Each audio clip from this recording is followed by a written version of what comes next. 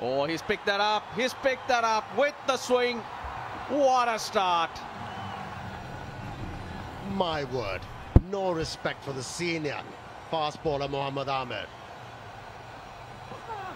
Oh, got him. Got him. The ball swings. Swings from off stump and he cleans him up.